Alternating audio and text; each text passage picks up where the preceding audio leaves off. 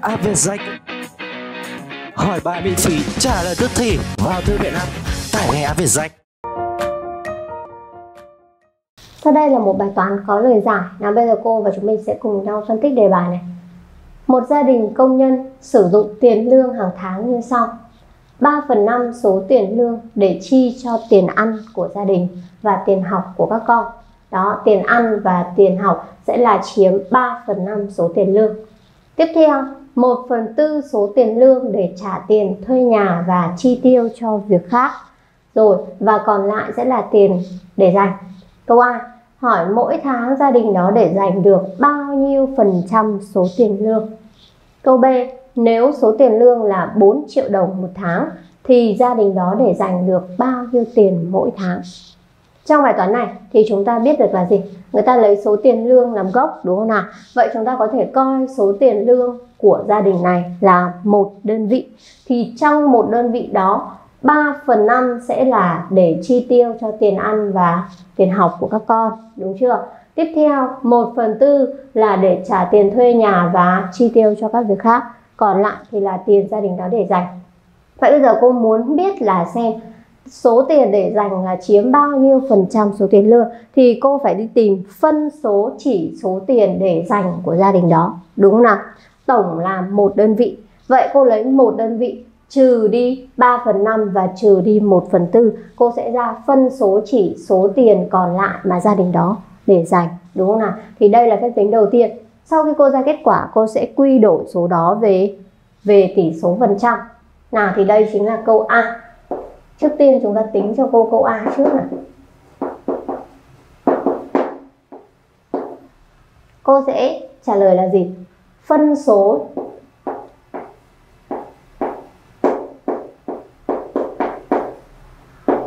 chỉ số tiền để dành là cô coi tổng số tiền lương là một, đúng không nào? Cô trừ đi 3 phần 5 số tiền lương dùng cho việc ăn và tiền học. Tiếp theo 1 phần tư số tiền lương là để thuê nhà và chi tiêu cho việc khác, đúng không nào? Cô lấy tổng là một đơn vị trừ đi phân số chỉ hai phần mà người ta đã phân tích rõ ràng. Bây giờ các con thực hiện tính toán cho cô biểu thức này nào 3 phần 5 cộng với 1 phần 4 quy đồng cho cô mẫu số này ở đây cô chọn mẫu số là 20 thì phân số thứ nhất sẽ nhân với 4 phân số thứ hai sẽ nhân với 5 4 nhân 3 là 12 1 nhân 5 bằng 5 kết quả là 17 phần 20 đúng không nào? Sau đó cô lấy 1 trừ đi 17 phần 20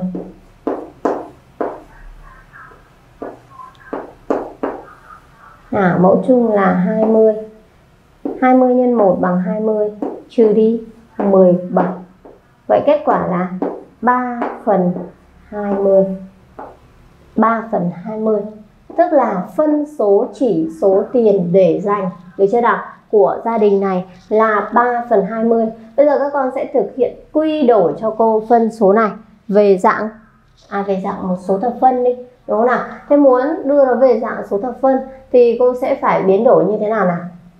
Nhân cả tử số và mẫu số với 5 đúng không nào? Hoặc là, đây, cô nhân với 5 thì chúng ta sẽ là 3 nhân 5 bằng 15 phần 100 đúng chưa? 15 phần 100 chính là 15%. đó nếu như chúng ta đưa về số thập phân sẽ là 0,15 đúng không? Sau đó chúng ta lấy 0,15 nhân với 100 và viết thêm ký hiệu phần trăm vào bên phải. Vậy là ở đây số tiền để dành của gia đình đó chiếm 15%. Vậy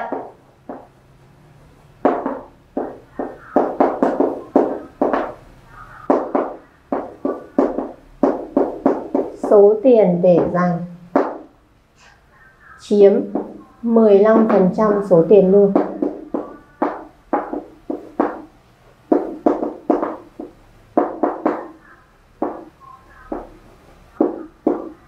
Được chưa nào? rồi. Câu B. Nếu số tiền lương là 4 triệu đồng. Đấy, bây giờ người ta cho một con số cụ thể là 4 triệu đồng. Thì gia đình đó để dành được bao nhiêu tiền mỗi tháng Bây giờ cô đã biết được số tiền để dành chiếm 15% rồi Vậy cô đi tính 15% của 4 triệu đồng là cô có thể ra được số tiền để dành của gia đình này, Đúng không nào? Nếu tiền lương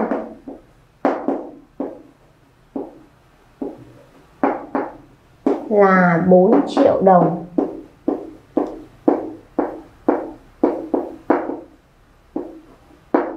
thì gia đình đó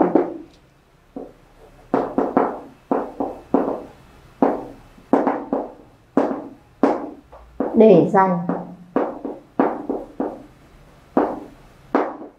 được số tiền. Mỗi tháng là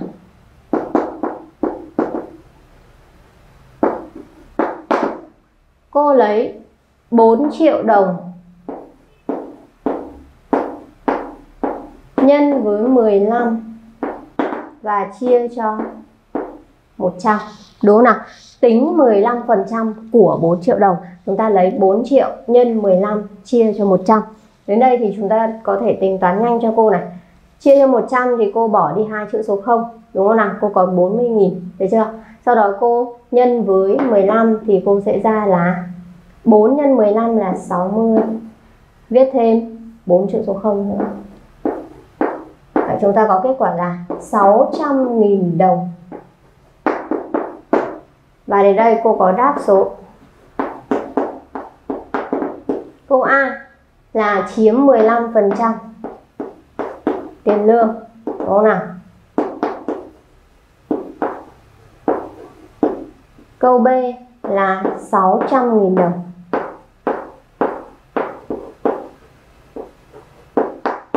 Rồi, vậy là cô và chúng mình đã cùng nhau hoàn thành xong được bài tập cuối cùng trong phần luyện tập hôm nay. Hôm nay thì chúng ta đã được ôn tập lại các phép tính liên quan đến cộng trừ uh, phép cộng phép trừ mà hôm trước chúng ta đã được học đúng không nào? Vậy, hẹn gặp lại các con trong những bài lần sau nhé. Xin chào. Khóa học về rách Sự lựa chọn của hàng triệu phụ huynh và học sinh Trải nghiệm ngay khóa học của Vietjet